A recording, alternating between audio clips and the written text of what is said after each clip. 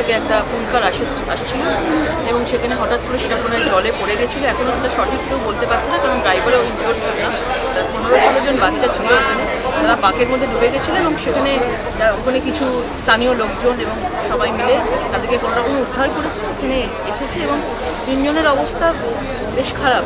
দুজনকে রেফার করা হয়েছে পিজিতে বাকিদেরকে এমনি ট্রিটমেন্ট দিয়ে ছেড়ে দেওয়া হয়েছে। কিন্তু এখন একজনকে দেখে এলাম, তার ভেতরে চেস্টের ভেতরে আমার মনে হচ্ছে কাদা অনেক হ্যাঁ, পা- পাক খেয়ে ফেলেছিল।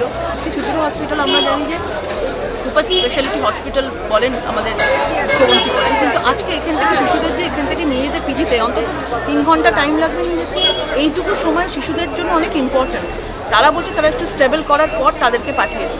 কিন্তু আজকে এখানে কেন কিছু নেই? আমি বারবার সুপারকে অনেকবার করে আমি এখানে এসেছি, পাঠিয়েছি যে আপনাদের কী কী দরকার আছে বলুন, আপনার, আমি নিজে আমার এমপি ল্যাডের থেকে আমি করতে চাই, কারণ স্থানীয় মানুষরা এখান থেকে কেন কলকাতা যাবে? তারা এখানে যখন হসপিটাল আছে, তারা এখানে আসবে, এখানে চিকিৎসা করাবে।